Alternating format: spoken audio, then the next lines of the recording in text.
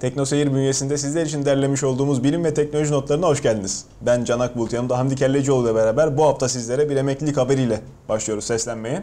Emektar uydu Cassini.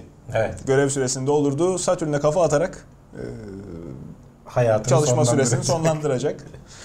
E, bizim Bunu daha önce konuşmuştuk Can aslında birkaç Daha evvel- e, program önceydi yanlış Tabii. hatırlamıyorsam. tabii Ya da Mayıs ayı, ayı civarındaydı. Zaten iki aylık falan bir süre vermişlerdi. Hı hı.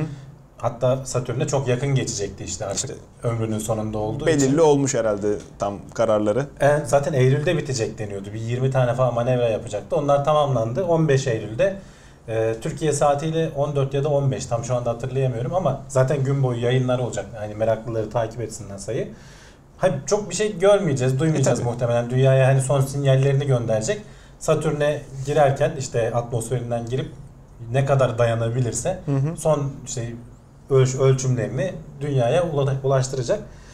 Niye yok ediyorlar? Hani Yanlış mı biliyorum Hamdi abi? üzerindeki. Hatırladığım kadarıyla Satürn bir gaz devi.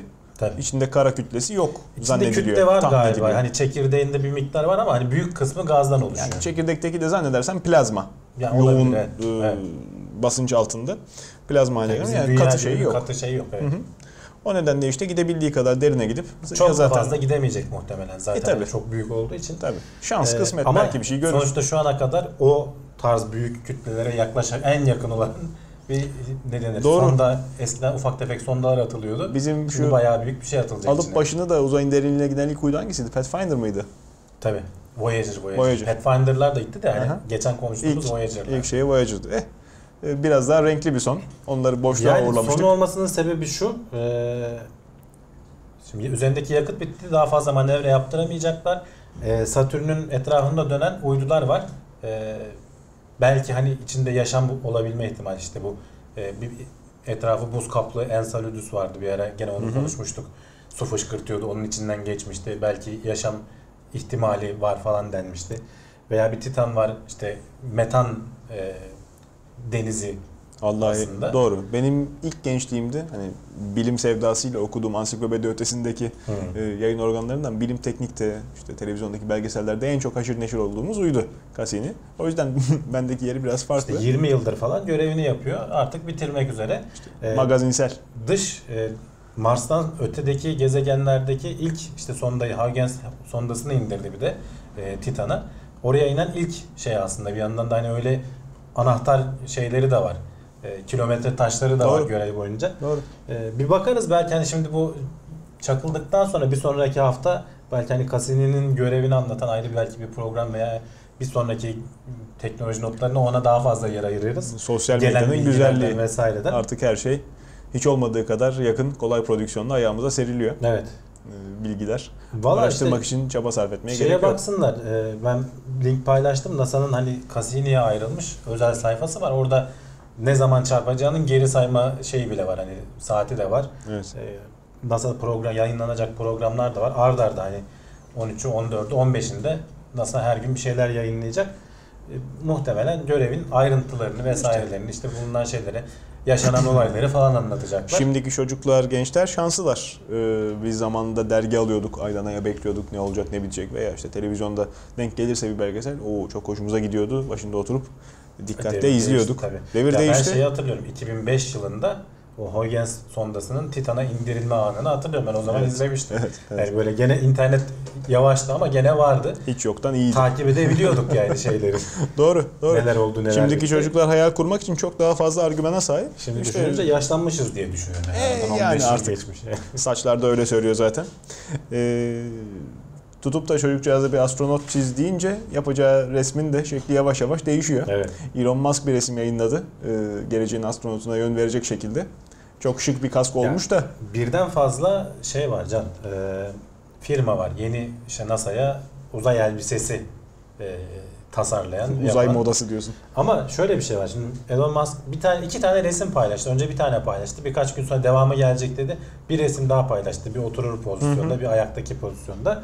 Şimdi şık görünüyor normal bildiğimiz bu hantal astronot elbiselerine göre. İşte o bana çok garip geldi. Çok daha derli toplu görünüyor ama bu şey değil. Bizim bildiğimiz astronot elbiseleri uzay yürüyüşü yapmak için yani dış Tabii. ortamda seni hayatta tutacak şekilde aslında bir çeşit küçük uzay gemisi onlar. Yani Doğru. hareket kabiliyeti bile Doğru. sağlıyor. Derin sana. deniz dalgıçlarının kıyafeti var. gibi. Onun gibi e, onlarda işte pervaneler vardır. Bunda su püskürten şey hava püs, gaz püskürten şeyler var. Böylece uzayda yönünü falan da bulabiliyorsun. Tabii. E, seni sıcak veya soğuk tutabiliyor. İşte Doğru. içinde bir iklimlendirme şeyleri Hı hı. var. Her yerinden hortumlar geçiyor bilmem ne falan. Bu yarış Basınç gibi galiba. var. Bu e, kendilerinin o Dragon kapsülünün içinde e, acil bir durum oluşursa işte iki atmosfer basınca dayanıklılığı test edilmiş. E, dışarıda seni hayatta tutmuyor. İçeride ama atmo şeyin içinde, kapsülün içinde bir miktar yaşayabilecek kadar. Belki dünyaya dönecek kadar. Çünkü sana oksijen verse yeter. Hareket kabiliyeti vesaire falan sağlaması gerekmiyor.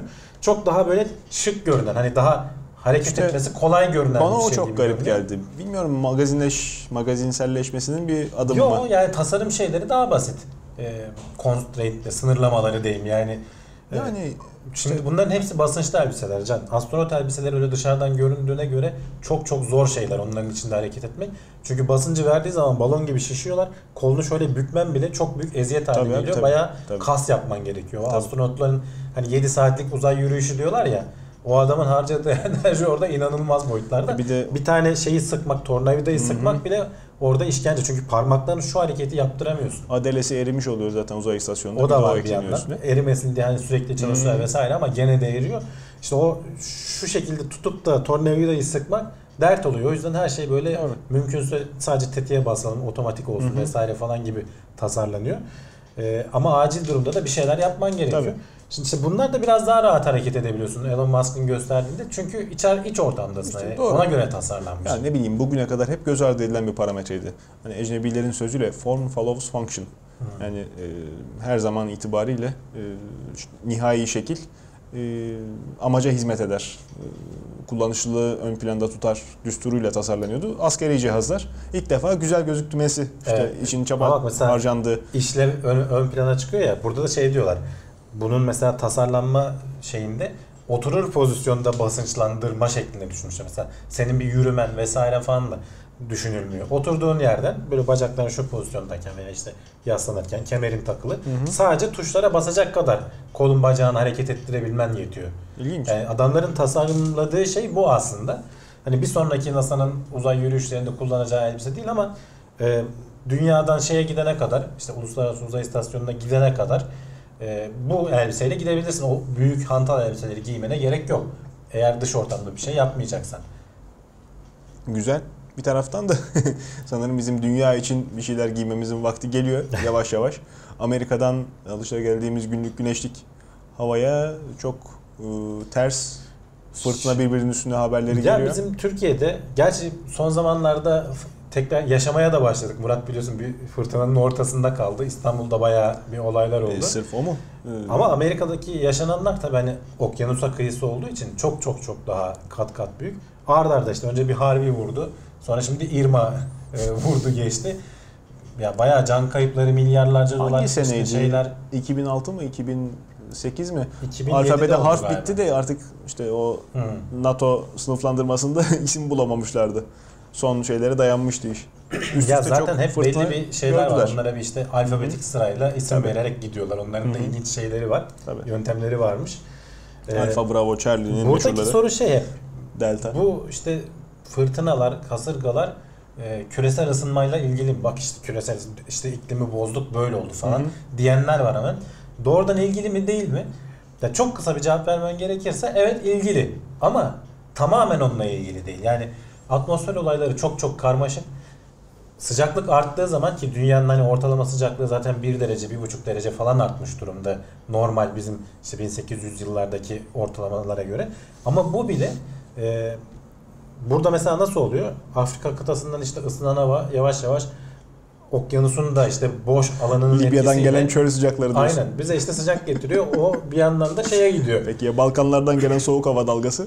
İşte o bizi burada ya karla şey yapıyor, terbiye ediyor. İkisi buluşunca. İşte okyanustan sıcaklıkla vesaire de daha da beslenerek normalde beklenenden gene büyük kasırga olurdu diyorlar. Ama bu kadar büyük olmazdı diyorlar.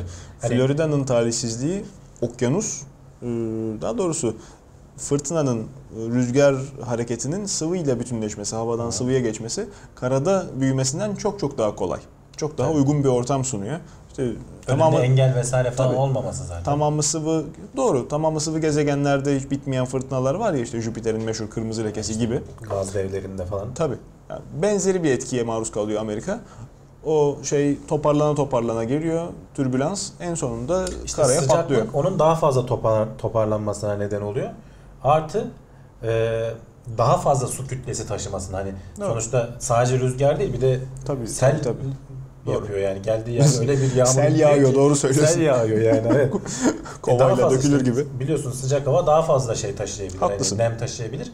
Karanın üstüne geldiği zaman o taşıyabileceği nemden kurtuluyor. Doğru. Taşıyamaz hale geliyor. Hepsini boşaltıyor işte.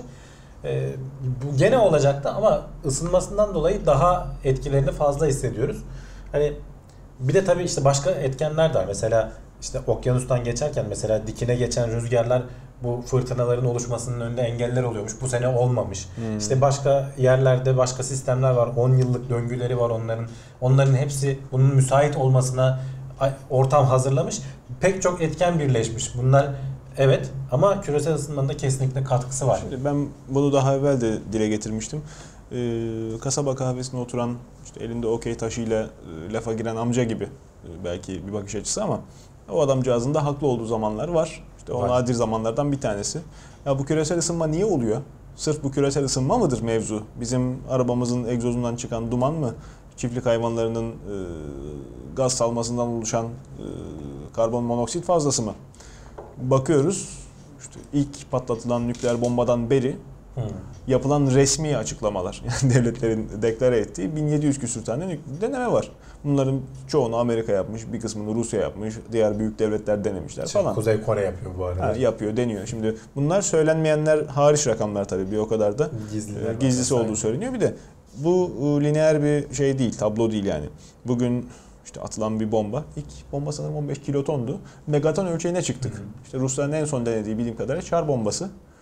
Kuzey Kutup Dairesi'nin onların e, sürgün yeridir ya. Hı hı. O civarında e, patlatmışlar. Sibirya'nın kuzeydoğusunda. E, Norveç'te evlerin camı patlamış şiddetinden. Hı. Diyorlar ki biz prensibi icat ettik. E, prensibi denedik. Tam potansiyelini kullanmadık. Dünyaya kalıcı zarar vermemesi için. E, aferin. Ya işte onlar da artık şişinmek için mi yapıyorlar bunu yoksa Yapıyorsa bir gerçekten de mi? yarısından çoğu yalan olsun, Hı hı. palavra olsun. Yine de problem bir durum. Şimdi fabrikanın bacasından bahsediyoruz. Burada egzozun düdüğünden bahsediyoruz. Öbür tarafta bu denemeler hiç tamamen sümen altı.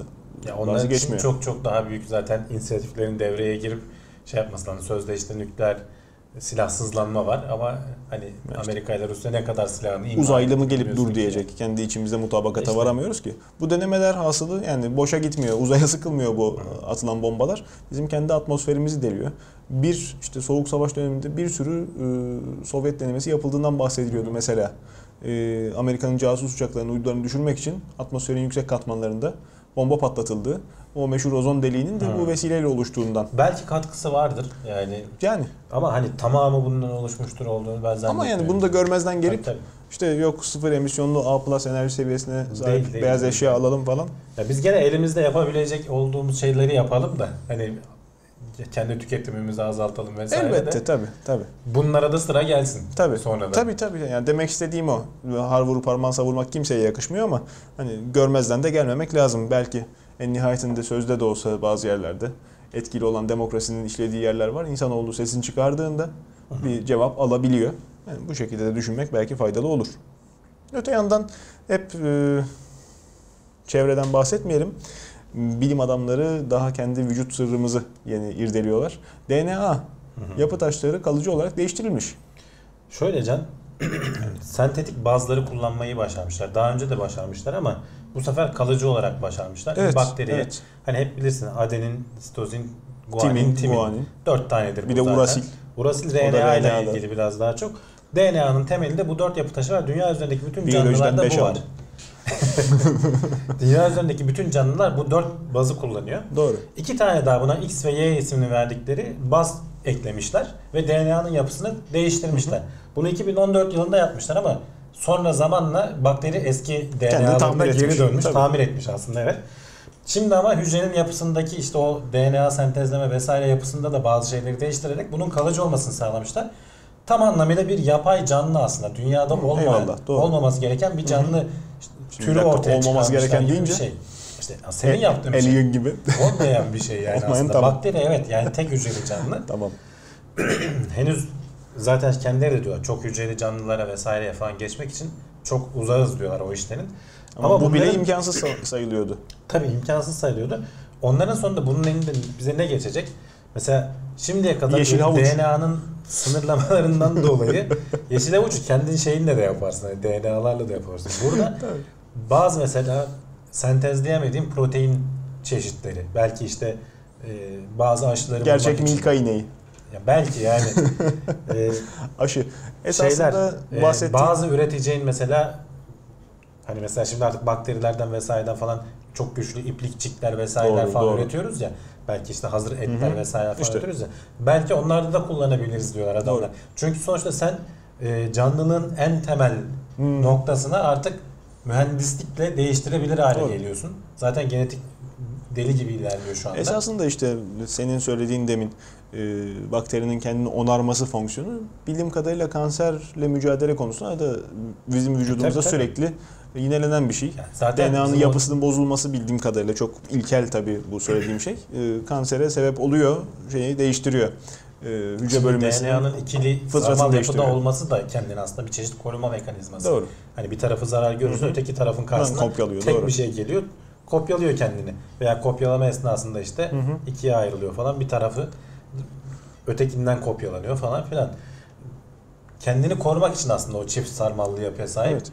Ee, ya işte bu işte mor ötesi ışınlar veya ne bileyim başka serbest radikaller denilen bazı maddeler falan DNA'ya zarar veriyor. Bu da hücrenin bozulmasına, yoldan çıkmasına tam anlamıyla e, delirmesine neden oluyor. Aşırı derecede e, bölünmeye başlıyor. Hı. Kanser dediğinde bu zaten her Evet, yere yayılmaya evet. başlıyor.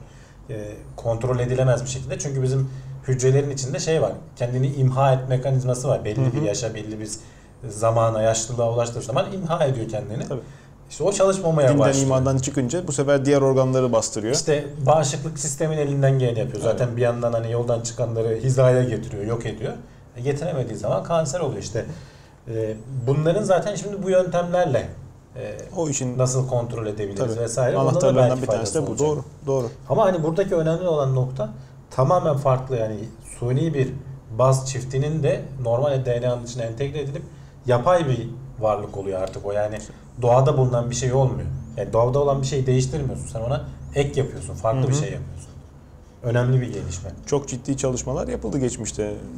Tabiattaki diğer hayvanlardan işte en meşhuru da karanlıkta parlayan farelerdi veya Evet. hayvanat haşerat. Ya onlar hani Deniz anasının proteinini alıp başka tabii, bir şey. tabii, Mesela hani tabii. ağaçları aşılamak vardır ya. Yani bambaşka bir ağaç yaratmıyorsun. Tam sonuçta farklı bir şey oluyor ama bir ağacı alıp başka bir ağacın içine yerleştiriyorsun falan gibi bir şey o. Tabii. Hani daha Karpuzu makul. kesiyorsun, çekirdekleri etrafa saçılıyor, kaçıyor. Yani Ee, yani esasında belki bu şey e, insanoğlunun vücuduna ek yapma, ne bileyim protez organ belki e, adaptasyonunu yolunu açacak. Belki de bu şekilde ufkumuz. Çünkü e, sinir uçlarıyla kontrol edilebilen elektronik cihazlar üzerinde de çalışılıyor bir taraftan. Tabii, tabii. Ama bütün uyumsuzlukların sebebi hani çok ilkel pozisyonda kalması aslında vücudun kabul etmemesinden. Yani e, daha organik, can pek çok biyonik, alanda karışık e, şeyler tasarlayıp işte pek çok alanda çiplerle böyle daha entegrasyon belki mümkün 8 olur. koldan hani 4 kolda değil 8-10 koldan ilerleyen şeyler var. Genetik bir yandan ilerliyor işte böyle ilginç işlere girişiyor. Evet. Nanoteknoloji bir yandan ilgileniyor. Hı hı. Böyle Değişik şeyler oluyor. İşte bildiğimiz bilgisayar teknolojisi, yapay zeka vesaire ayrı yoldan ilerliyor. Yani hepsi birbirleriyle de bazen paslaşarak da gidebiliyorlar. Doğru. Ee, firmalar da zaten sonuçta karlılık elde edebilmek için ha, onu da kullanalım bak şöyle bir şey yapalım falan. Hani çok hızlı bir şekilde ilerleyecek bu. Lanet ki demin de söylediğin gibi bu tip şeylerin hızlanmasındaki esas lokomotif satılabilir olma potansiyeli. O, ama yani arkasında Yani ihtiyaç itekleyen güç bu. Tabii. Savaş olmadığı için çok yine şükrediyoruz ama Ya savaşta yine da zaten o da işte şey devletlerin parayı bastırıp Öyle, da sen öyle. bunu bana bul demesi. doğru. Doğru. Savaş olmadığı zaman devlet Veya o kadar parayı bastırıp, bastırmıyor. parayı bastırmazsa ha, Ya da. evet yani. O yüzden şimdi işte satılabilir şeyler belki dediğimiz gibi vücuda entegre gadget mı diyelim tam Türkçesi nedir? Oyuncaklar, Araçlar, cihazlar, Ha, aygıtlar. Şakalar, komiklikler etrafımızda göreceğiz, satıl, satılık göreceğiz. Bakalım. İşte o zaman etik Daha şeyler renkli- devreye girecek. Bunlar olmalı Neler? mı, olmamalı mı? Yapılmalı mı? Ama bir kişi yapacak. Başkasının çocuğu senin çocuğun önüne geçecek. Sen yapmamazlık edemeyeceksin. Hani bunun önüne geçmek de mümkün Bilim kurguculara buradan Yani selam olsun. Şeyi söyleyeyim Elon Musk'ın hani o haberini almadım ama şey diyor Kuzey Kore ile uğraşıp duruyorsunuz diyor. Yapay zeka diyor 3. Dünya Savaşı'nı çıkaracak. Çünkü bu teknolojiyi elde eden devlet diğerlerine fark atacak. Doğru. Şu anda herkes haldır haldır buna uğraşıyor. Yani bu nükleer bomba gibi bir şey aslında onun daha da beteri. Haklısın. Kötü anlamda söylemiyorum. Hani Haklısın, haklısın. ilerleme sağlama Doğru. anlamında. E bunu devletler birbirine işte çelme mi atacak, çalacak mı ondan bilgiyi, ne yapacak? Bunu ilk ele geçiren çok ciddi bir fark yaratacak diğerlerine göre. Doğru söylüyorsun. Siz diyor Kuzey Kore'yi vesaireyi bırakın buna dikkat edin diyor. Hani biliyorsun ya yapay zekaya bir şeyler söylüyor. Doğru doğru. Bakalım. Belki de dünyayı bırakıp kaçmanın vakti gelmiştir ha. Yeni adresler Vallahi buluyorlar. Gidebileceğin yer Nasıl yok. haldır haldır su arıyor. Valla Trappist 1. Bunu daha da- önce konuşmuştuk hatırlarsan. Evet. Ee, dünyaya benzer 7 tane gezegenin aynı sistemde bulunması ilginç bulunmuştu. Hatta mesela özel toplantı yapmıştı. Bana o kadar şaşırtıcı gelmemişti ama sonuçta güzel yani bir sistemde 7 tane dünyaya benzer gezegenin bulunması önemli bir şeydi. 1 değil, 5 değil, tam, Tam 7 yedi. tane. evet. Şimdi tabii oraya çevirdiler e, teleskopları. E, Hubble'la yapılan incelemede suyun izlerine rastlanmış. Şimdi burada suyun izlerine rastlanması belki çok büyük haber değil çünkü daha iz yani hani ispat değil de yöntem ilginç can yani e, bilim o kadar bak artık ince ve uzaktaki vesaire şeylerle uğraşıyor ki hep dolaylı yollardan şey yapıyoruz. Şimdi biz bu gezegenlerin hiçbirini de doğru düzgün göremedik çünkü 40 ışık yılı uzaktalar. Hep böyle kendi güneşlerinin önünden geçmesi Hı hı. vesaire falan daha önce konuşmuştuk. Tahmin, teori hep. Bundaki şeyler de şu. e, kendi güneşlerinden yayılan mor ötesi ışınlar e, o gezegenlerdeki su moleküllerine çarpınca ikiye bölünmelerine neden oluyor. İşte e, atomların ayrılmaları ikiye bölünme yanlış oldu. Hidrojen ve oksijene ayrılıyor.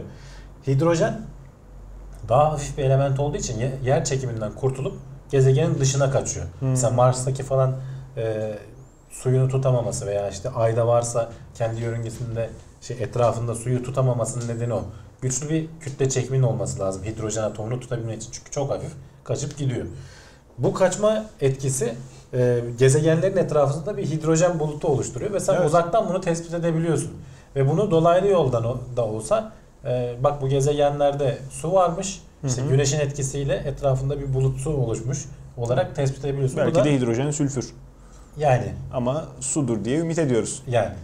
ama büyük ihtimalle su oluyor zaten. Hani Yani su az tabii. bulunan bir şey değil aslında. Bayağı bulunan bir şey ama doğru yerde bulunması Öbürü lazım. Mesela bu 7 gezegen dedik ya içteki iki gezegendeki e, su çoktan işte o güneşine yakın olduğu için hı. buharlaşıp atmosferden kaçmıştır. Ama dıştaki gezegenlerde hala e, şey su olma, sıvı halde veya donmuş halde su olma ihtimali olacağı söyleniyor. Ha dersen ki bunlar bizim ne işimize yarayacak? Pek bir işimize yaramayacak. Ben sadece şey için bu haberi aldım. İlginç yani bu dolaylı bulma şeklini hani bilim Doğru. dediğin şey her şeyi böyle direkt net bulamıyorsun. Bazen farklı farklı yollardan çıkarımlar yapman gerekiyor. Bu, bu da o yöntemlerden biri. Sorun çözme yeteneğinin üst düzey örneklerinden Artık o noktaya geldik. Yani tabii. insanlık dediğin şu an bilimin uğraştığı şeyler doğrudan e, gözlemleyebildiğimiz şeyler değil. Hep dolaylı çıkarsamalarla işte kütle çekimsel dalgalar da öyle. E, ne bileyim işte bu suyun bulunması işte 40 ışık yılı uzaktaki bir gezegende o da öyle. Bilim adamının niteliği değişiyor sanki. Hamdi abi eskiden daha laboratuvardan çıkmayan, hep e, lam lamel arasında gözlemlerini sıkıştırmış, notlar alan, kuramlar üzerinde kafa yoran adamlar görüyorduk. Hı. Şimdi artık daha şair gibi efendime söyleyeyim, roman yazarı gibi, Ya şey hikaye e, kurgulayan, daha farklı yöntem düşünen, özgür düşünen insanlar Ya mı? şeyi bilim adamı. Can. Şimdi bir dönem bir uzmanlaşma dalgası geldi. Belli konulara çok uzmanlaşan adamlar Hı hı. ön plana çıktılar. Şimdi diyorlar ki uzmanlık yetmiyor. Veya tek kişi için yetmiyor. İşte tabii. birden fazla ekip kurman gerekiyor. Yani artık bir kişinin bulabileceği böyle e, zaten dikkat edersen Nobel ödülleri falan hep ikişer üçer kişiye veriyoruz. Aziz Sancar'la birlikte iki kişi daha aldı. aynı. Doğru. Ekip halinde aldılar E, tabii, tabii. yani. Çünkü tek başına yapabileceğin şeyleri karmaşıklığı geçtik artık. Ama sen bünyende birden fazla kolda mesela işte bir yandan müzikle ilgileniyorsundur, bir yandan işte bilimin bir dalına ilgileniyorsundur, bir yandan işte arabaları seviyorsundur. Bunları bazen birbirleriyle etkileşime sokabiliyorsun. Hani orada gördüğün bir şey sana ilham verebiliyor. Elbette. Evet. Elbette. Çok yönlü olmanın avantajları var yani bu konuda. Bakalım. Ama tabii her şeyde zamanın yetmiyor bir yandan da öyle bir şey var. E, o yüzden ortaklar buluyorsun. Senin boşluğunu dolduracak başka alandaki uzman kişiler. Şimdi- Beraber çalışıyorsun. biz bu programı çekerken daha doğrusu e, yayınlandığı tarih itibariyle henüz okullar tam açılmış olmayacak galiba. Yok. İlk okullar mı başlamış oldu? İlkokullar evet bir Hı, alıştırma erken haftasındalar başladılar. galiba. İşte okula başlayan e, kardeşlerimize de istikamet çizme arefesindelerse bu vesileyle bir ilham buketi sunmuş olalım inşallah. erken. E işte erkenden adım atmak faydalı. Aksi takdirde oturur kaldırım mühendisi olurlar. 1982'den beri yapılmamış bir espri miydi? Aflarına sığınaraktan yenilemiş olalım. Bir diğer ilkel e, antik haberle devam edelim madem. 3700 yıllık bir tablet Hamdi abi. Evet. Bilinen matematik tarihine tersten bakmamıza sebep oluyor galiba. Ya Bir bazı şeyler için çok mu erken konuşuyoruz? Ee, Yok yani elimizdeki verilerle konuşuyoruz. E, tabii. Ama yeni bir bulgu bulduğun zaman değiştiriyorsun. Bilimin Hoppa, mantığı bu bütün zaten. Tarih kitabı yeniden yazılacak. Ee, şimdi trigonometriyi hani antik Yunanlıların Hı hı. bulduğu işte milattan önce 100 Pisagor. 200 yılı Hipparchus diye biri Hı hı. söyleniyor. Pisagor herhalde ondan sonra geliyor. Sonradır. Ee, ama şimdi işte Babil'de bulunan bir tablet 3700 yıl öncesine yani ondan 1000 yıl öncesine Hı hı. hatta 1500 yıl öncesine tarihleniyor. Ve bu tabletin üzerinde trigonometrik hesaplamalar var. Ee, Adamlar asma bahçesini boşuna yapmamışlar. yani Tesadüfen diyorlar yapmamışlar. ki zaten 60'lık bir sayı düzeni gibi çok garip bir sayıları var can. Hatta ne deniyor? Sexagesimal gibi bir e, ismi var onun. Yani düşün biz onluk kullanıyoruz. Adamlar 60'lık yani 60'a kadar sayıları var. Tabii. Ee, hem bu- 60'a biz kadar rakamları var daha ya. doğrusu. Rakamları var evet. Ondan sayı Biz şey konuşmuştuk ya 12'lik düzen Hı. daha düzgün. 60'lık daha da düzgün. Yani E, tabii. her şeye çok güzel bölünebiliyor. Tabii. Hiç böyle kesirler, ondalıklar vesaireler hı. olmuyor. Öyle bir sistem kullanıyorlar ve trigo- trigonometrik o bulunan tablette trigonometrik hesaplar oldu. Gerçi tablete baktığın zaman hiçbir şey anlaman mümkün değil. Yani uzmanı olmak lazım onun. Trigonometrik bir hesaba Bir benziyor işte. yani bilmiyorum. Yani Artık- bir tablo olduğu belli. Yani Tabii. satırlar var, kolonlar var. Çobanın karalama defteri şey diyorlar, inşallah. İşte belki şey e, ev ödevi defteri olabilir diyorlar. Çünkü e, çıkardıkları sonuç o. Yani Hı hı. orada egzersizler varmış gibi böyle yani veya bir çarpım tablosu gibi bir şey olabilir Belki de. diyorlar. Belki de. Ama işte mesela matematik tarihini bildiğim bildiğimiz tarihi biraz değiştirecek gibi. Bugün idrak etmekte olduğumuz medeniyet düzeyi belki de hani gelmiş geçmiş en ileri seviyede olmasını garantileyen şey iletişim. Kim ne yapıyorsa hepsinin kaydı tutuluyor. Herkes hepsinden haberdar. Aynen. Bu çağın en büyük avantajı o. Geçmişte insanlar on binlerce yıl mağara adamı gibi yaşamamışlar. Yani belki mağara adamı gibi yaşamışlar da boş mağara adamı değilmiş bizim kafamızda tasavvur ettiğimiz. Hmm, Matematikten de anlıyorlar pekala, edebiyattan da anlıyorlar. Baya baya insanlar yani. İşte hep hayal ederken Ya Can zaten şey buhar devriminden öncesinde herkes tarlada Sen şey düşünüyorsun işte böyle ilkel insanlardı gibi düşünüyorsun. Hani biraz böyle Yani. kafamızdaki o karikatürize edilmiş. Ama zekaları senin kadar. Sonuçta insanlar yani hani Tabii. öyle düşüneceksin. Sadece bilgi birikimleri senin kadar değil. değil. İşte Evet. belki de bir şeyler vardı. Ama işte sosyal iletişim, iletişimleri, etkileşimleri vesaireleri falan. Hayır bilgi birikimi derken hani- hani adamın elektriği vesaireyi falan bilmesi, bizim şu an bildiğimiz şeyleri bilmesi mümkün değil. Ama işte temel işte felsefeleri ne bileyim Elektriği de e, biliyorlarmış canım. Bizim gibi ilişkileri- kullanmıyorlarmış. Tedavi için kullanıyor. Çin tıbbı falan. Tam olarak ne zaman. olduğunu bilmiyorlar. Tabii. Yani hani biz F, bayağı ecinli, bücünlü bir şeyler var. yani. Tabii doğru. Kontrol etme konusunda da hani çok ilerleme kaydettik. Doğru. Bunlar yani insanlığın ilerlemesindeki çok önemli şeylerden biri de bilgi birikimi işte. Evet, evet. Yani bu da zamanla oluyor ve gittikçe de hızlanan bir türev. Hep diyoruz ya hep hızlanıyor. İşte bu tabletlere, kil tabletlere yazmaktan Hı şimdi artık buraya yazdığımızı maille her yere göndermeye Alüminyum tablete yazıyoruz diyorsun. Kil Yani tableti geçtik. İyi bakalım. Taşıması kolay ama bak bundan neler taşıyorum içinde. evet, e, gizli ürün yerleştirme efendim. Reklam faslı bittiyse ben bir sonraki habere döneyim. E, senin haberin geldi. Evet, otomobil endüstrisinin geçtiğimiz 100 yıldan daha ciddi bir atılımı önümüzdeki 10 yılda yaşayacağı konusunda öngörüler var. Evet, kim demiş bunu? Ya Volkswagen'in CEO'su söylemiş. Hiç. Şimdi öyle bir şey ki yani çok uzatmak mümkün bu konuyu. Çok üzerinde saatlerce konuşmak mümkün ama kimsenin o kadar vaktini çalmaya gerek yok. Bilahare bu e, tekrar e, tekrar canlanacak bir durum en nihayetinde değiniriz. Ama e, bugün şunu çok rahat söyleyebilirim. Sürekli takip eden, sürekli sistemin içinde olan bir insan olarak e, otomotiv geçtiğimiz 10 yıldır yerinde sayıyor. Ciddi ciddi yerinde sayıyor. Bütün yatırımlar hep eldeki malzemeyi kullanma, teknolojiyi geliştirmeden nasıl daha iyi gibi gösteririzin hesapları. Şimdi otomobillerin çarpışma güvenliğine odaklanıldı önce. Gövde ağırlıkları artırıldı falan. Onu düşürmek için şimdi başka materyal tercih etmek. Hep yerinde sayıyorlar. Baktığınız zaman 2000 senesinde çıkan bir otomobil, piyasaya çıkan bir otomobil, bugün piyasaya çıkan bir otomobile göre çok da ilkel değil.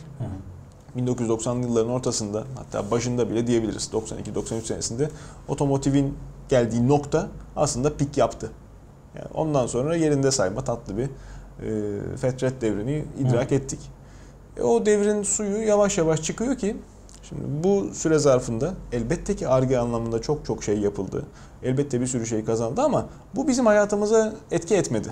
Hep teoriler yapıldı. İşte yarış motorları, yarış makineleri yapıldı, gösterildi. Özel konseptler sunuldu ama bunlar piyasaya çıkmadılar. Çıkamadılar. Hafiften de bir gerileme çağına geldik. Artık ciddi ciddi büyük hacimde üretim yapan e, prestijli firmalar motor geliştirmemeye başladılar. Ciddi yatırım yapmamaya başladılar. Hep ortak platform, aynı parça işte. Volkswagen Grup Peki aynı arabayı sebebi ne 5 olabilir? farklı Yani- markadan satıyor. Şimdi bunu sormamın sebebi şu. Bu paylaştığım yazıda 5 tane madde sıralamışlar. Birinci madde şey gidiyorlar. Ee, satışların artış grafiği durdu. Ee, artık bir platoya ulaştı. Firmalar daha fazla büyüyemez hale geldi. Ee, bu yüzden de senin dediğin gibi ortaklaşmalara vesaireye falan mı gidiyorlar? Gözlerini toprak doyursun Hamdi abi. daha ne büyüyecekler diyorsun. Lanet kapitalizm. Şimdi bu insanlar evet daha da büyümenin peşin, peşindeler. Ee, bu Volkswagen Hı hı. ee, yine 10 sene kadar önce motor kaputunu mühürlemeye çalıştı. Hı. İstiyorlar ki İçine bakma. yerel yerel üretici, yerel e, firmalar işte mahallenizin tamircisi, karbüratörcüsü zaten çoktan kapandı gitti enjeksiyonla. Yerel tamirci usta taş yesin. Hı. Kapatsın dükkana, kilit vursun. Siz arabayı kullanın. Şimdi bir taraftan da işte bu demin kızdığım sözde çevrecilik yani gerçekten büyük zarar verenleri görmezden gelerek havanda su dövme üzerinden yürütülen çevrecilik bir taraftan da zarar verme konusunda çok çok daha süreci hızlandıran şekilde hayatımızı etki ediyor. Şöyle ki otomobillerde artık gün geçtikçe kullanılan malzeme geri dönüşümlü olacak şekilde arttırılıyor. Bugün %60 nispeti zannedersem mecburi e, piyasaya çıkacak yeni bir otomobilin onaylanması için, e, satışına onay verilmesi için üzerinde kullanacak e, aksamın geri dönüştürülebilir olması nispeti %60 diye hatırlıyorum. Yanılıyorsam da e, daha sonra düzeltiriz. Geri dönüştürülebilir malzeme kolay bozulan malzemedir aynı zamanda. Hı. E, çok uzun ömürlü değil, kalitesiz. İnsanlardan bekledikleri şey arabayı alıp 3 sene 4 sene neyse ortalama 2 sene 3 sene kullanmaları tabii işlerine gelen e, senaryo bir şekilde elden çıkartıp hurdaya çıkartıp işte ya 3. dünya ülkelerine ya da Ama bak öyle olmuyor. çöplüğe. Buradaki istatistiğe göre 2000 yılında e, ortalama arabaya sahip olma süresi şu andakinin yarısı kadarmış. Yani artık insanlar aldıkları arabayı iki katı daha fazla ellerinde tutuyorlar. dünya genel işte istenen şey bu ama benim söylediğim şey hedef bu. İsteniyor ki 2 sene 3 sene kullansınlar. Hı hı. Ondan sonra tekrar Ama yeni işte başaramamışlar. Tam tersine gitmiş yani. Onu diyorum işte mevzu bu. Bu dediğime çıkmaya çalışıyorlar. Tamir etmekle uğraşılmasın. Sadece periyodik bakımları bittikten sonra araba çöpe atılsın. Onu ezelim tekrar bir kısmını kullanalım. O malzemelerden yeni araba yapalım. Tabii bu esnada harcanan enerji, harcanan çöpe giden materyal bunların hepsi görmezden geliniyor. Tabii böylelikle kilometrede 5 gram daha az karbon monoksit, karbondioksit salan arabamızla çevreyi daha az kirletiyoruz diye sevinirim. Bak 5 başlıktan ikincisini de söyleyeyim. Söyle, o da söyle. çünkü bununla etkili. Ee, araba paylaşma hizmetlerinin e, sosyal ağlarla vesaire Hı hı. internetle birlikte deli gibi yaygınlaşması. Bizim Evet. Türkiye'de çok değil ama Yok. işte Uber'i herkes biliyor sonuçta. Herkes bıçaklanmaktan korkuyor Ee, çünkü Ama Türkiye'de. Amerika'da çok yayıldı Yaygın. ve e, hani bu araba şeylerini firmalarının e, yöneticileri arasında yapılan anketlerde de şey düşünülüyor. 2025 yılında şu andaki kullanıcıların %59'unun araba almak istemeyeceği tahmin ediliyor. Yani Otonom ciddi sürüş- anlamda bir pazar küçülüyor. Otonom sürüş çok çok ciddi bir tehlike. Daha evvel bununla O- o ilgili da maddelerden senaryo, biri. tabii, O senaryolar maddelerden vardı. biri. İşte bağlı hepsi birbirine en nihayetinde. Ee, insanlar arabalarını robot işçi olarak çalıştırmayı düşünmüşlerdi ya. Hı hı. Alır almaz ben takarım taksi plakamı oh araba gezer. O direkt satışı düşürecek şeylerden biri. Hem de nasıl tabii. Ee, mesela şeylerden biri, maddelerden biri de arabalarda ki yazılım hani teknolojisinin Hı hı. eskiden %13'ü kadarmış 2015 yılında Ee, bir arabanın değeri içindeki işte yazılımın değeri. Ee, 2019 yılında %20'ye ulaşması ve bunun artan bir trend. Hani arabanın yürüyen işte o mekanik aksamından ziyade yazılım kısmı daha fazla. Hele otonomiyle birlikte işte bu kendi kendine süren falan vesaireyle birlikte bunun daha da artacağı söyleniyor. Ya endüstri değişmek zorunda kalıyor o yüzden Eh. bir şekilde. Esas dönüşüm işte bugüne kadar dediğim gibi otomotivin rölantte beklemesine sebep olan şey içten yanmalı makinenin yakıt enjeksiyonuyla beraber mükemmelliğe ulaşması. Artık yanma verimi hı. neredeyse işte mekanik potansiyelin sınırlarına ulaştı. Yani Materyaller yetmiyor daha iyisini yapmaya. İşte çelikle, alüminyumla yapılacak araba bu kadar iyi oluyor. Ve bunu birazcık bozdular. İşte bugün bakıyorsunuz hala 1998 model araba tıkır tıkır çalışıyor iyi bakılmışsa. Bir şey de olmamış. Şimdi bu arabanın sahibi ben arabamı niye değiştireyim dediği zaman net verecek bir cevabı yok üreticinin. Çünkü kafa kafaya kronometre koyduğumuzda 1998 model arabayla bugün satılan 2018 model arabanın fren mesafeleri neredeyse aynı. Hı. Hani gelişme? Yakıt tüketimlerine bakıyorsun çok da ciddi bir fark yok. Hızlanma kabiliyetine bakıyorsun 98 model araba daha iyi. Hı. Bakıyorsun kabinde kullanılan Daha malzemeleri çok işçi yakıyordur ama herhalde artık yakıt tüketimi. e, birazcık daha fazla yakıyor ama kı- kıyasladığında bakım maliyetleri daha düşük. Hı. Sarf malzemeleri bir motor atmosferik, bir motor turbo şarjlı. Birinde iki, e, diğerinin iki misli kadar hareketli İşte parça bunu var. tehdit eden şeylerden şeyler biri var. bu elektrikli arabaların falan biraz Heh. işte böyle içten yanmalı Tabii. motoru tehdit etmesi falan. O da İşte- çünkü maddelerden Bak biri. Bu içten yanmalı beş motor değil tehdit biri. edilen şey Hamdi abi. Bu sıklıkla yapılan bir hata. Çeviri hatası gibi aslında. Tehdit edilen şey fosil yakıt. Hı. İçten yanmalı motor ölmeyecek. İçten yanmalı motor hidrojen yakarak varlığını sürdürecek.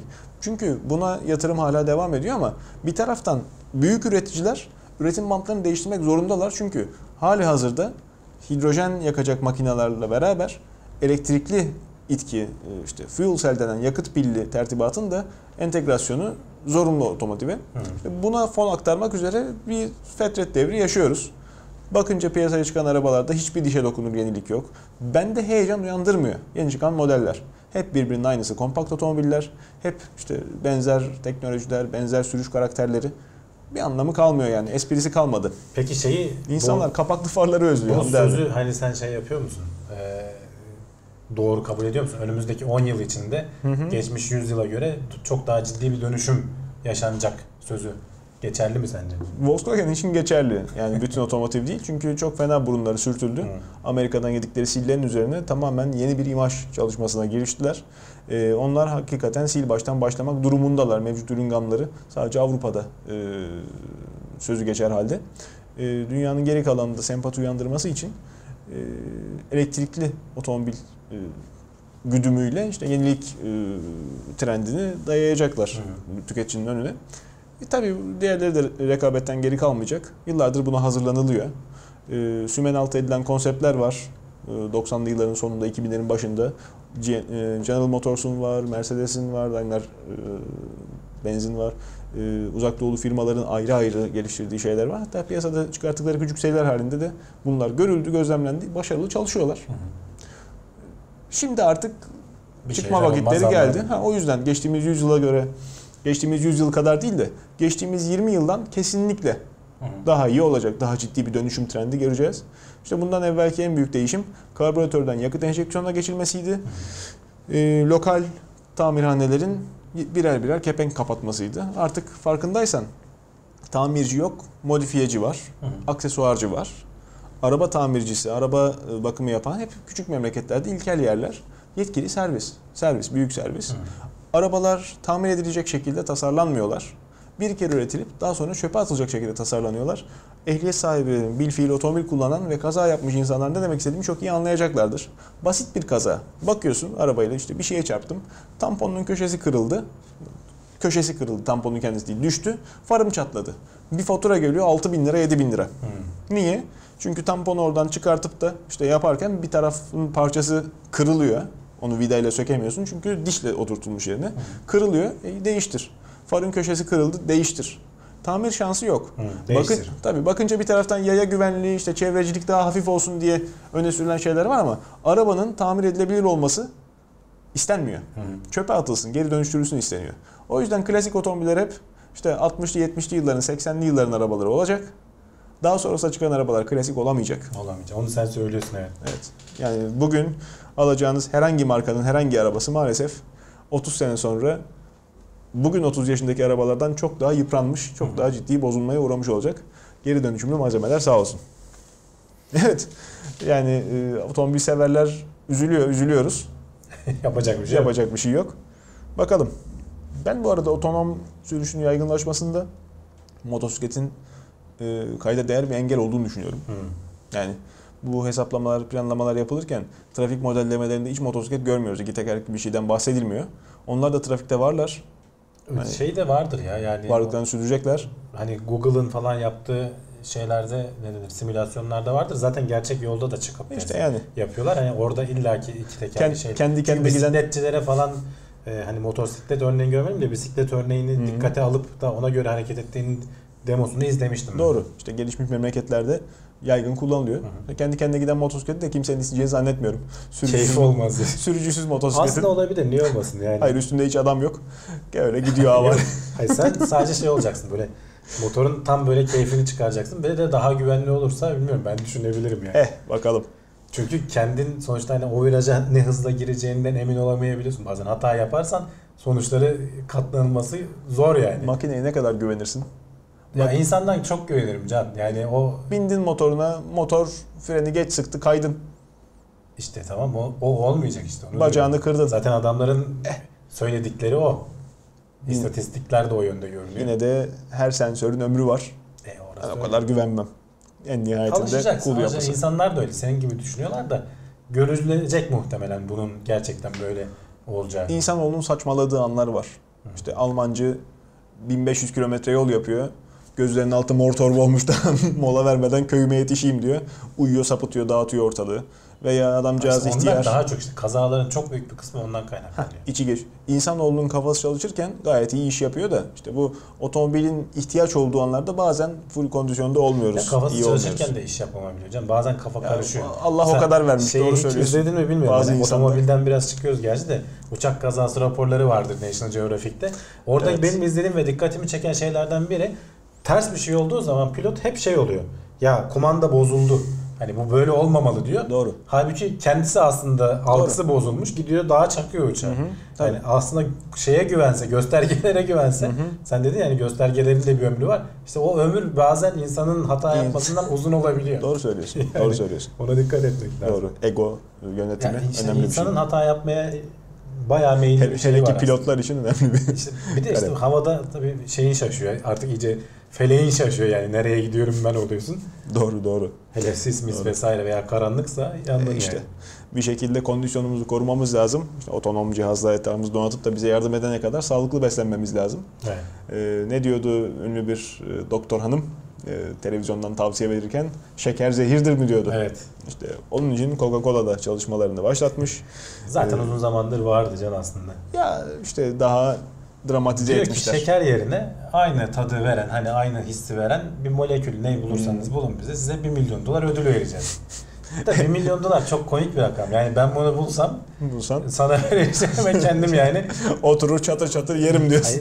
Hayır, yani Ağzımın tadı. şöyle söyleyeyim. O işte asitli içecek veya işte meşrubat Tabii. şeyi dünya çapında trilyon dolarlık Tabii, tabii, tabii. sektör. Yani Tabii. ben ona şekerin İşte yerine geçecek. İşte şimdi kendileri de uğraşıyorlar. Yok işte aspartam kullanıyorlar. Stevia var galiba. kullanıyorlar. Çok. Stevia'nın bir tadı var. O böyle limonumsu Hmm. şeylerde içeceklerde oluyor da kolada olmuyormuş. Bak şu da bir şey. Ee, daha evvel ispat edilmişti. İnsanoğlu bazen çocuklar şeyler merak eder, akıllara takılır. Lan ben şimdi bunu kırmızı görüyorum. Sen de acaba böyle mi görüyorsun? Hı. Yani kırmızı hepimizin aynı kırmızı mı? Onun kırmızı olduğu ispat edildi. Renk körü değilsen hepimiz Aşağı her rengi aynı görüyoruz. aynı görüyoruz. 3 aşağı 5 yukarı diyelim. Kadınlar bazen daha iyi görüyor renkleri Evet. falan. Ama tat ve koku algısı tamamen genetik. Sen şimdi mesela Doğru. dersen ki ben bamya sevmem. Ben de desem ki aa bamya sevilmez mi? Ne kadar lezzetlidir. Hele zeytinyağlısı mis gibi olur. Bu tamamen ayağa yere basmayan bir tartışma olacak. Çünkü benim aldığım bamya lezzetiyle senin aldığın bamyadan tat aynı değil. Değil. O ispat edildi. Genetik faktörler var iş içinde. Ama şeker mesela bütün insanlık için hani sonuçta sevilen bir şey. yani. Cezbedici bir şey ama Kolanın içinde bu kadar Bak, olmasının sebebi de o aslında. şekerin ayrımı. Kolanın şekersiz neydi? Zero. Zero. Ha, Zero. Onu da kaldırdılar şimdi. Fazla markanın önüne E geçti. işte light kola diyelim. Hı. İşte light kola ile zero'nun farkını insanlar ayırt ediyordu bazı insanlar. Bazıları anlamıyorum ben Bazıları diyordu. anlamıyor. Kola ile Pepsi'nin farkını da anlamıyorlardı. En yakın rakibi ya sözde. Bazı insan anlıyor, bazı insan çok ciddi ayırt ediyor. Ağzımı yakıyor diye şeker. Bazısı diyor ki yok ben bunu daha çok seviyorum. O yüzden şeker alternatifini bulmak biraz garip. Belki her pazara farklı şeyler sunmaları Şeyden gerekecek. dolayı Can. Şimdi şeker alternatifini niye arıyorlar? Çünkü işte bu az önce sen söyledin ya Canan Karatay falan gibi yurt dışında da bir sürü Evet. doktor şekerin ne kadar zararlı olduğu Evet. anlatılıyor. 2000'li yılların başına göre hani 15 yıl içinde %19 azalmış kola tüketimi veya iç- içecek tüketimi diyeyim. Gazlı içecek tüketimi. Tabii canım. Amerika'da E, bütün bütün diyetisyenlerin ilk dünyada şey. zaten gidişat bu yönde. Şimdi firmalarda tabii uzun vadeli düşündükleri için bu hep böyle gidecek. Ne yapalım? İşte suya, sodaya vesaireye falan dönüyorlar. Hani böyle şekersiz şeylere dönüyorlar. Alkol katalım.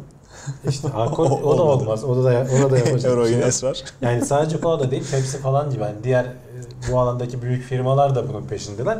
Bazen deniyorlar işte aspartamlı içecekler. Hani böyle şekerimsi tat verip de gerçi tadı çok farklı olabiliyor işte senin dediğin gibi bazı kişilere göre. İşte bak Bazen aspart- ondan vazgeçiyorlar. Olmuyor ki tekrar geri dönüyorlar falan. aspartam da masum değil. Değil, Hakkında değil. çalışmalar var. Diğer yapay tatlandırıcılar için de tabii e, şey Değil, söz değil, konusu.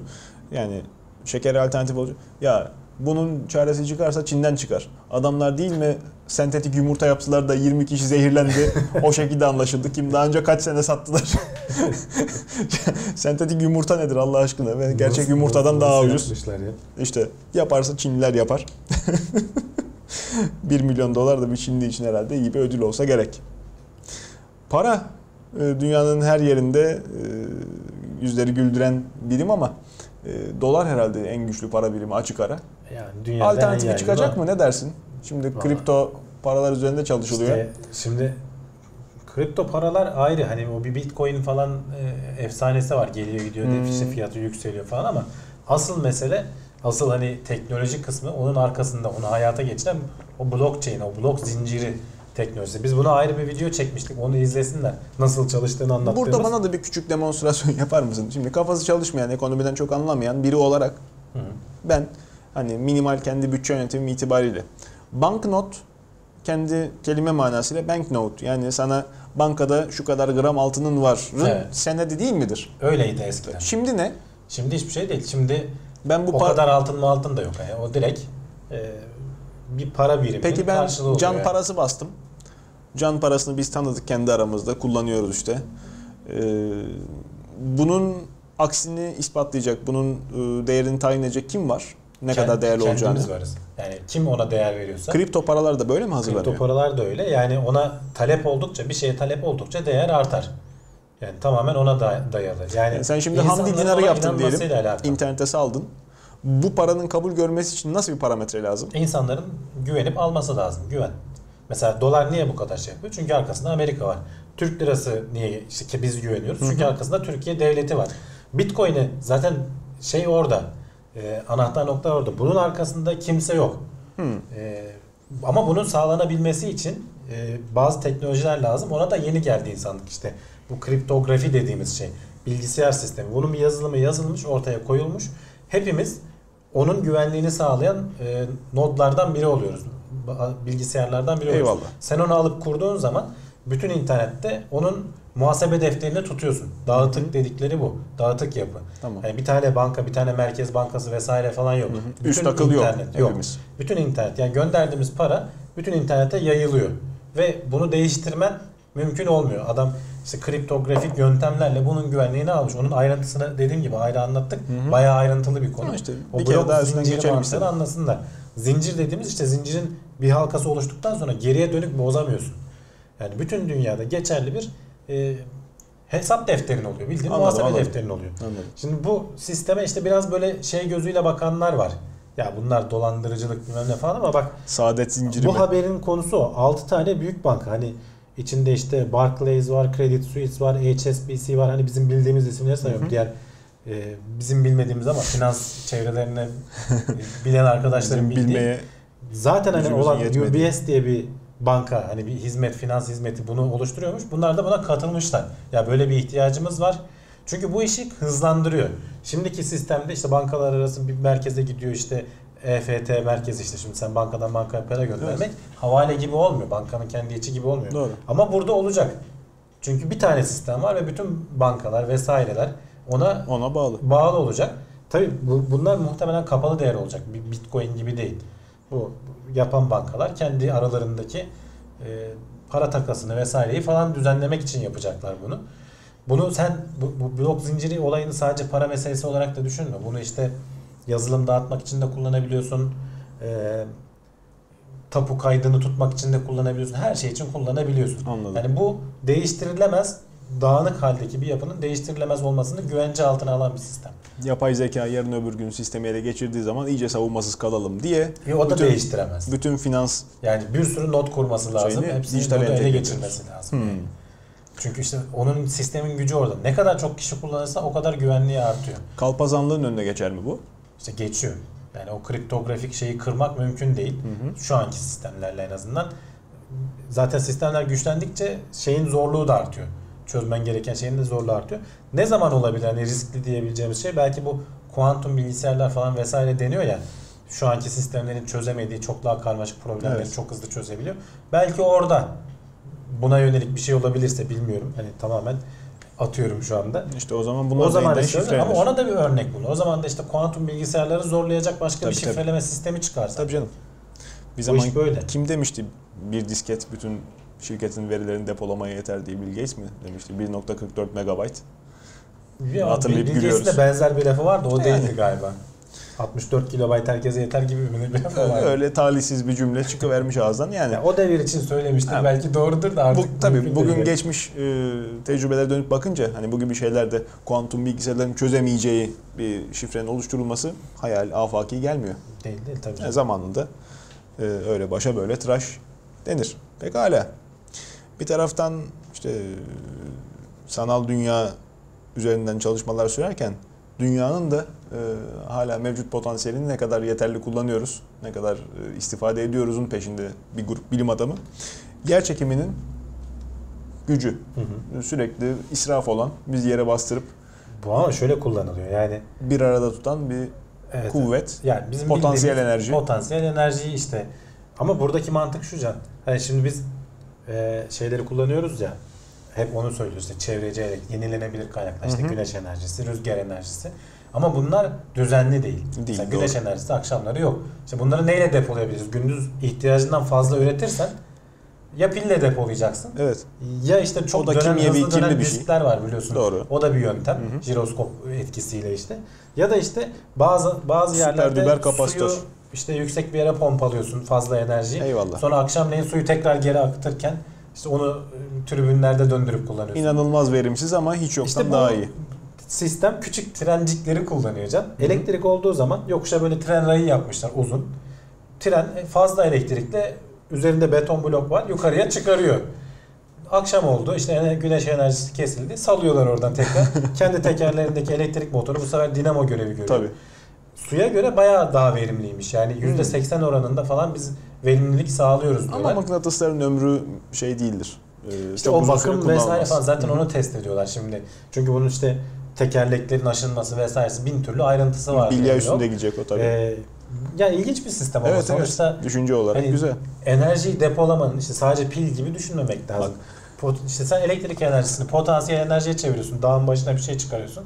Sonra ihtiyacın olduğu zaman onu salıyorsun aşağı geri geliyor. Alternatif enerji örneklerinden belki en güzeli. Otomotiv için söylüyorum. Ee, en güzeli hemen konsepti gösterilir gösterilmez ıskartaya çıktı. Zemberek. Hı. Şimdi bizim yaşımız yeter. Ee, izleyicilerimizden Yeni de hatırlayanlar oyuncaklarda olur. da var canım. Kuruyorsun. Var mı? Tabii tabii. Ha, kurmalı oyuncak işte bizde vardı. Kuruyorsun, kuruyorsun, kuruyorsun, kuruyorsun. İçerideki zembereği sıkıştırıyorsun. Ondan sonra koyunca oyuncağı, o oyuncak o senin yüklediğin enerjiyle bir müddet gidiyor. Bunu arabaya yapmışlar. Konsept şuydu. Arabanın ön tarafında kocaman veya işte neresindeyse zemberek Hı hı. ama arabayı götürecek kadar zemberek. Güçlü zemberek. Ha, gidiyorsun onu arabanın totosunu mu artık burnunu mu dayıyorsun kurma şeyine. O orada elektrik motoruyla sabit şey. Hızla kuruyor onu. Ondan sonra alıyorsun arabayı 50 kilometre mi 100 kilometre mi sistemin izin verdiği ölçüde geziyorsun. Zemberek çok da çevreci. İşte o yayın metal yorgunluğu izin verecek kadar 30 sene mi 50 sene mi problemsiz kullanacağın şekilde de harika e, güç kaynağı ama problem e, çizgi film efekti vardır ya zemberek saat kırılınca cımoing diye içinden fırlayıp yay fırlar. O yay benim kadar olduğu zaman fırlamasının Riskli. pek hoş olmayacağını öngördükleri için o sistem hiç hayata geçmemiş. E işte yani güvenliği de öyle şey yapacaksın. Aynı şey işte. İşte Belki burada ama mesela gelecekte benzerini kullanırız. Suyu pompalama diyorlar ki bu sistemin avantajlarından biri her yerde su yok. Yani onu dere kenarı veya işte bir göl möl vesaire olacak ki onu yüksek Ama her yerde tren rayı var diyorsun. Ama işte evet rayı boş bir arazi bulduğun için burada Tabii. da alan lazım. Tabii. Ya Bir de yokuş lazım tabii. Yani. Böyle yüksek bir yer lazım. Gerçi suda da o lazım. Oraya döşüyorsun rayı. Yan yana hatta böyle şeyler yollar Yokuşa sürüyorsun. Yukarıya park ediyorsun elektrik olduğu sürece. Sonra ihtiyacın olduğu zaman da geri alıyorsun. Güzel güzel. İlginç bir sistem. Evet. Evet. Bir taraftan da işte e, yine kürenin güzelliği açısından araştırmalar deniz suyunun mikroplastik partiküller tarafından hızla kirlendiğini Evet. gösteriyor. Yani biz şimdi hani hep konuşuyoruz denizlerde işte bir sürü plastik çöpler vesaireler birikiyor falan. Onlar görüneni. Çözünüyor. Deniz Evet. dünyanın her yerindeki denizlerden tuz örnekleri almışlar can. Hmm. Tuzun içinde mikroplastik denilen hakikaten gözle görülmeyecek kristal şeklinde plastik parçacıkları var ve bunlar her yerde var. Hani Amerika'dan, Çin'den, işte Akdeniz'den her yerden alınmış bu örnekler. Ee, ve kurtuluşu yok. Hani geri dönüşü yok. İşin kötüsü şey de diyorlar. Bunun insan sağlığına zararını da test edemiyoruz. Çünkü bu mikroplastiklere maruz kalmamış insan, İnsan yok. yok tabii. Yani kontrol grubu yok önünde. Yok. Ne zararı var ne farklılık oluşuyor. Test de edemiyorsun. Ee, bunun önüne alabilecek bir şey de yok. Çünkü plastik o kadar çok hayatımıza girdi ki. Yani denizlere atmayalım falan vesaire demenle de olmuyor. İşte bir şekil onun küçük içindeki o mikro parçacıkları bir şekil şeye suya karışıyor. Bugüne kadar atılanlar yetecek. Önümüzdeki Tabii bugüne kadar sene. atılanlar Tabii. yetecek veya işte tonlarca yani. Ee, 2013 yılında Amerika'da yapılan bir araştırma var. Bisfenol A diye. Hani Hmm. duymuşsundur zararlı olduğu BPA vesaire falan. bütün BPA içermez falan Tabii. derler çocuklar için. Ee, %95 oranında Amerika'daki nüfusun %95'inde ölçülebilir miktarlarda idrarlarında rastlanmış. ya Yani herkes buna bir şekilde maruz kalıyor. doğru. Ee, ne yapılacak bilmiyorum. Hani bu alarm zillerini çaldırıyor ama İşte bir taraftan çözüm de yok işin bir çevreyi yandan. hızla kirletirken bir taraftan da tıbbın onu yakalayıp kafa kafaya gelmesini ümit ediyoruz. Evet. Yani başka Bilmiyorum, belki de hani yok. Kontrol grubu olmadığı için belki de zararı yok. Bilemiyorum. Ha, Hani belki de bazıları- faydalı şifalı bir şey diyorsun. Faydalı da olacağını zannetmiyorum. plastik, Hani plastik. doğal olmayan bir şey sonuçta ama belki de mutlu mesut yaşayıp gidiyor. Bakarsın yeni keşfettiğimiz sistemle DNA'mızı kalıcı olarak değiştiririz. Plastik de vücuda Olur, faydalı, belki. batna cila efendime söyleyeyim. İçince iyi gelen bir şeye dönüşür. Programın başlarında bulunan bir tablet, 3700 yıllık bir e, tabletin üzerindeki trigonometrik karalamaların insanoğlunun bilinen matematik, tarihine tarihini değiştirmişti. müdahalesi bahsi olmuştu. Şimdi de ayak izi.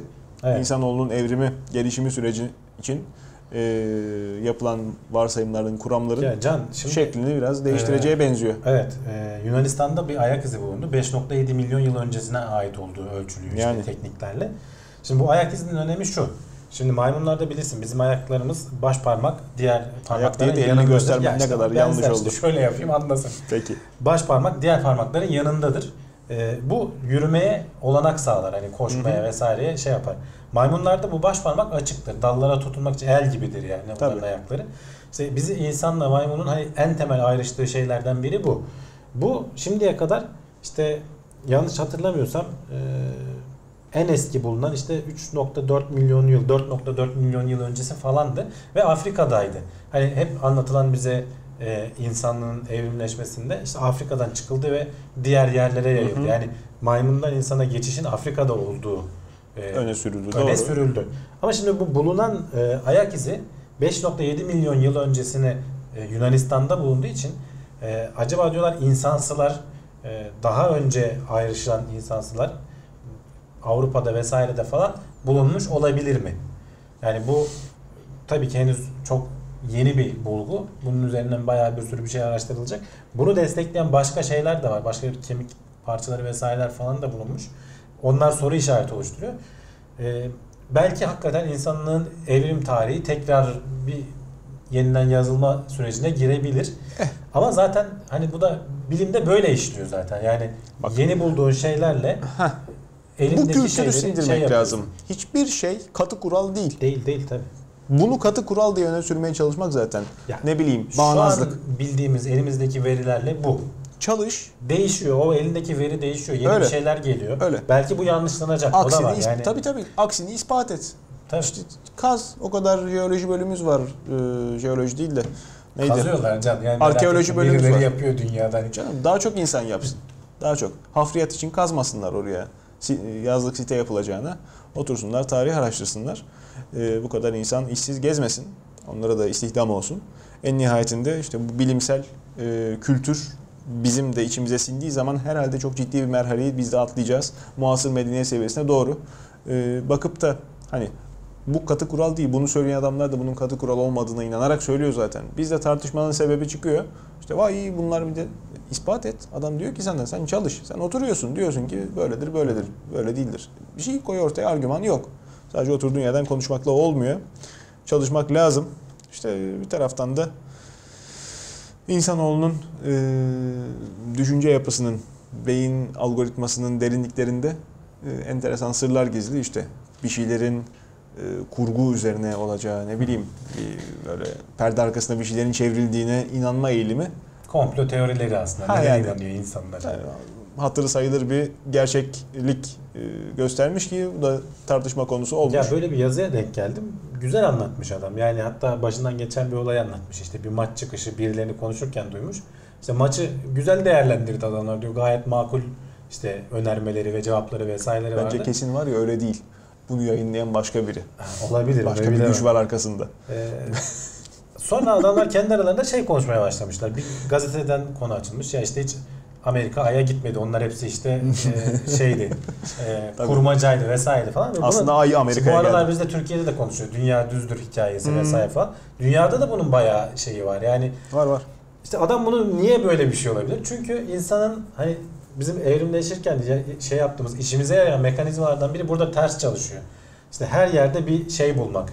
Ee, hani bir ara konuşmuştuk ya bir bir patern bulmak yani bir düzen bulmak her şeyde böyle gördün düzensiz bir şeyde bile bir yüz görüyorsun sen. İşte bulutta koyun görüyorsun vesaire ne bileyim işte bir şey görüyorsun. Yıldızlardan hemen birleştiriyorsun.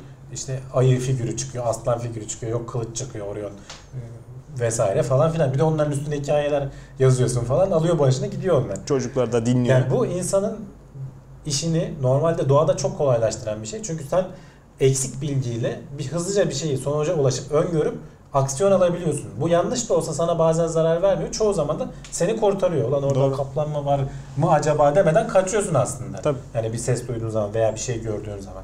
İşte burada komplo teorilerinde tersine çalışıyor. İnsanın gene bir başka şeyi, sosyal bir varlığız can. Ee, bir şeyi çok fazla kişiden duyduğun zaman veya çevrendeki çok fazla kişi inandığı zaman bir şeye, bir bilgiye sen de inanma eğilimindesin. Yani insanda işte grubun dışında kalıyorum. Hani hep şey vardır ya bu National Geographic'te falan veya belgesel kanallarında çok garip böyle sürü psikolojisi testleri Hmm. vardır. Adam işte Evet evet. doktor randevusunda beklerken düdük çalınca herkes, Herkes ayağa, ayağa kalkar. kalkar. Evet. Sıfırdan yeni gelen adam bile ayağa kalkmaya başlıyor bir süre sonra. niye ayağa kalkıyorsun? Tabii. Yani.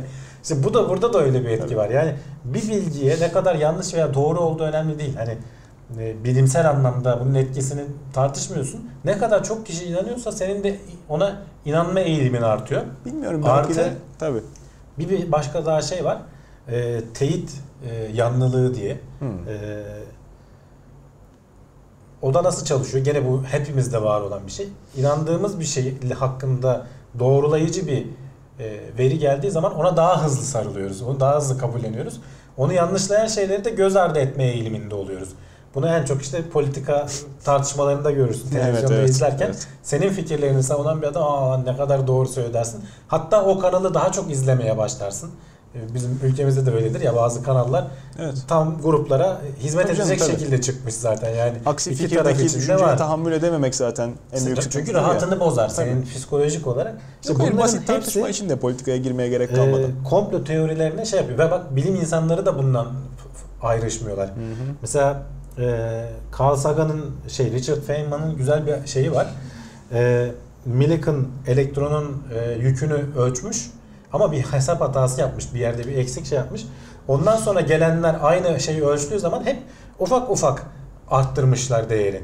E, diyor ki Feynman niye diyor doğru ölçüyü bir anda bulmadık diyor. Yani ufak ufak arttırma. Ya. Çünkü kendinden bir önceki ölçen adama yaklaşmaya çalışıyorsun sonuçlarında. Doğru doğru doğru. Yani o kadar da ayrışamıyorsun. Hayır doğru rakam budur diye böyle İşte onu yapacak adam sen çok bu- az. Sen bunu dediğin zaman niye çok az? Onu diyen adam var. Güveniyor kendine, İşte malzemeye. hemen harcıyorlar yani. Hadi oradan diyorlar tabii. diyorlar. Ama işte onu deyip savunacaksın ve senin haklı olduğun ortaya çıkmıyor. Çıkacak. Ama işte onu yapmak yerine kolaycılığı seçip ya biz de bulduk aynı sonucu ama biraz bizimki biraz yüksek diyorsun. Senden sonra biri geliyor. Ya ben biraz daha da yüksek buldum. Herkes çıtayı doğru rakama ulaşıyorsun en sonunda. Bu bilim insanları arasında da hakikaten bu elektronun yükünü ölçme şeyi tarihsel olarak bakın diyor adam. Ee, hafif hafif artmış ta ki bir noktada durmuş.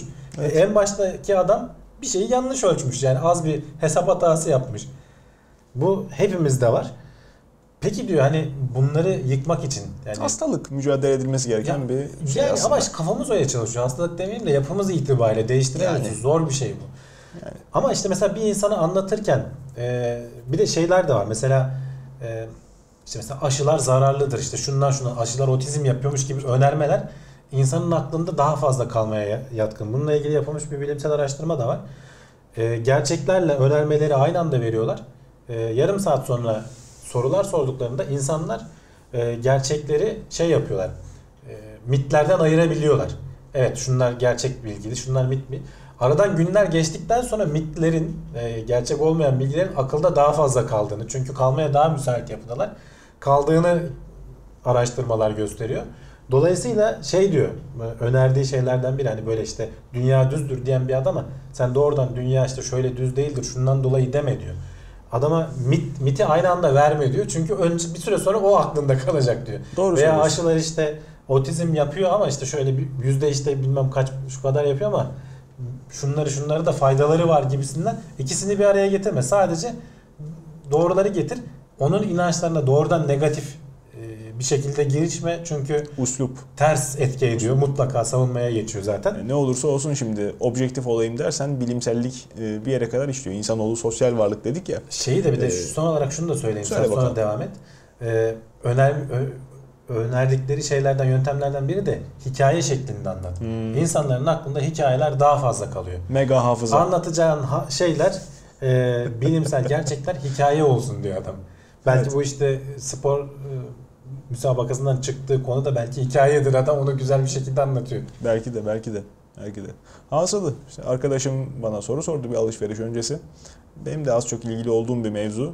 Sordu işte ya markalar arasında kalmış ne alayım ben? Dedim ki ne alırsan al şunu alma. Aklında o kalmış. Gitmiş. Şunu almıştım. Ee, iki hafta sonra, üç hafta sonra onu almış. İşte negatifi söyle. Bak sen bana demiştin bunu aldım dedi dedim ne yaptın? Sana onu alma demiştim.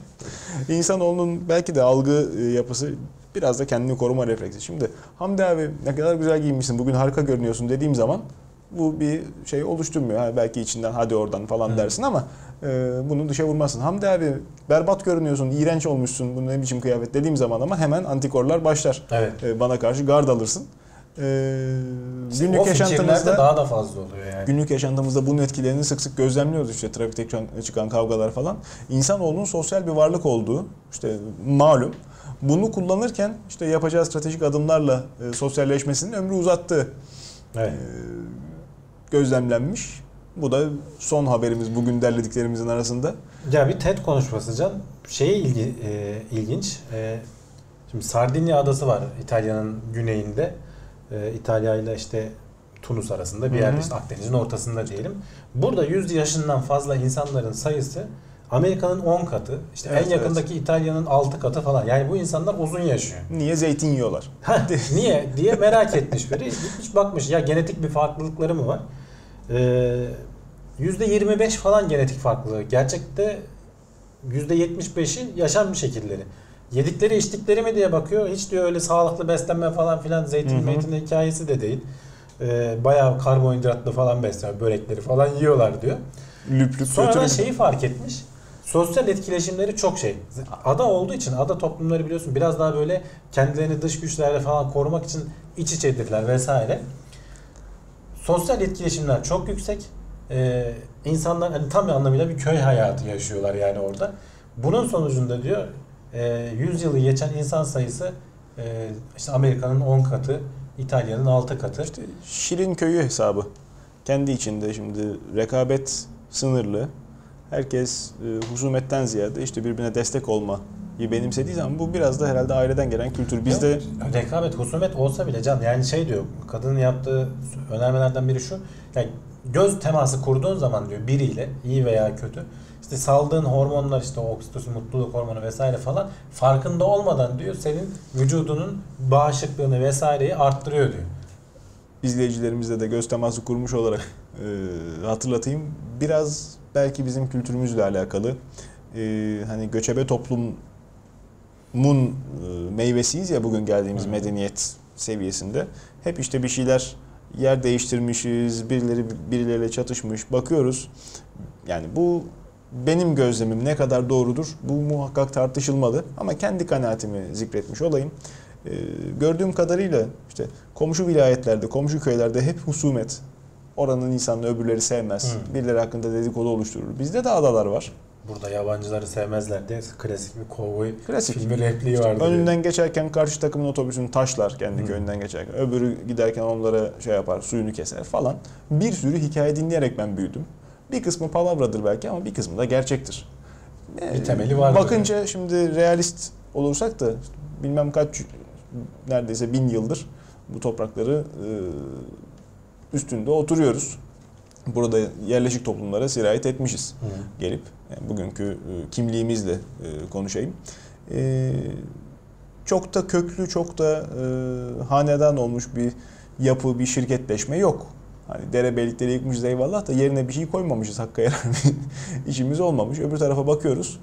E, 200 yıllık, 300 yıllık şirketler işte bir imalathane anlatabiliyor muyum? Bir şeyler yapılmış. Bizde hep bir böyle çekememezlik, hep bir e, kısa yoldan belki e, köşeyi dönme hevesinin getirisi olarak anlaşmazlıklar, ortaklıkların kısa sürede bozulması gözlemleniyor. Hı. Yakın dönemde de benzer çok örneğiydi. Ben çevremden de gördüm.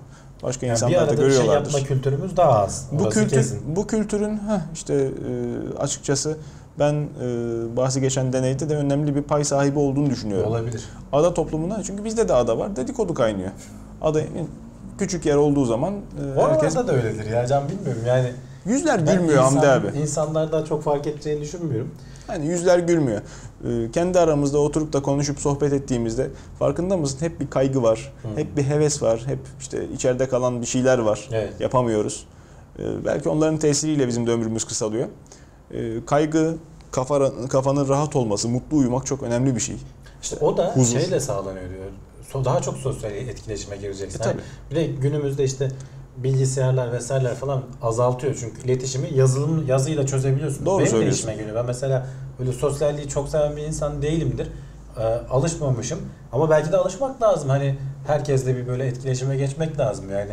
Bu şeyin sonucu. Çünkü verdikleri istatistikler izlesinler.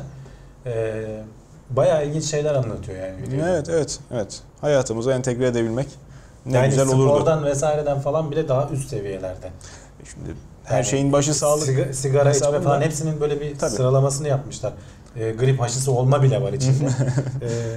Ee, en üstteki ikisi hep sosyallikle alakalı. Ya sosyalleşme ve yakın dostlarının olması. Hamdi abi her şey mutluluk.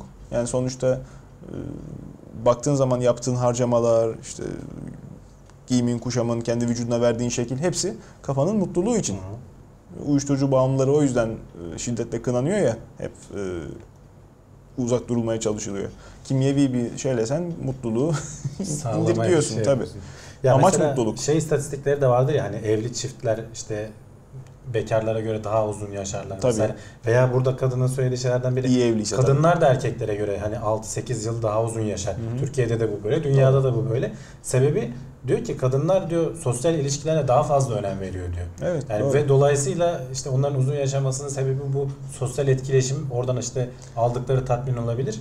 evlilerde de işte çoluğun çocuğun vesairen olduğu zaman ister istemez işte torunlarla vesaireyle onlarla sosyalleşmek zorunda kalıyorsun. Yaşlılıkta insanoğlunun çöküşü çok hızlanıyor sosyalleşme olmadığı zaman. Evet. Evde yalnız kalan yaşlı. Çünkü bir Genelde emeklilik mesela direkt bir kilometre taşıdır. Hemen sonrasında eve kapandığın zaman yapacak bir şey bulamamak, işte sosyalleşememek. Öbür tarafta hani e, sosyalleşmenin de tabii yine ruhi tatmin açısından iyi bir e, şey olması lazım.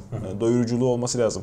Kahvede işte birkaç yüzyıllık oyunları üst üste oynaya oynaya da bir yere kadar. Şeyi hatırlıyor musun? Bir öncekinde konuştuk galiba. Sosyal komüniteler. Şimdi Amerika'da falan böyle kültürler çıktı. Orada biliyorsun Evet. evler Evet, ayrı evet, ayrıydı evet, evet. Şimdi 8-9 aile bir araya gelip büyük Tabii. hani evin ortak şeylerin açıldığı alanlar yapıyor. Tabii. Böyle klan şeklinde yaşayalım. Doğru. Hani bunun daha mutluluk verdiğini falan iddia ediyorlar. Hı hı. Böyle bir trend yükseliyor bu arada. Hani Swinger'lığa dönmesin de. olsunlar. o kızına karışamam. Peki. Peki. Bizim bu haftalık haberlerimiz bu kadar. Önümüzdeki günlerde yine karşınızda olmaya çalışacağız. İzlediğiniz teşekkür ederiz. Katkılarınızı da bekleriz. Bulduğunuz haberler, ilginç gelen başlıklar olursa da bize ulaştırın. Seve seve yer vereceğiz. Ee, bizi izlemeye devam edin. İyi seyirler.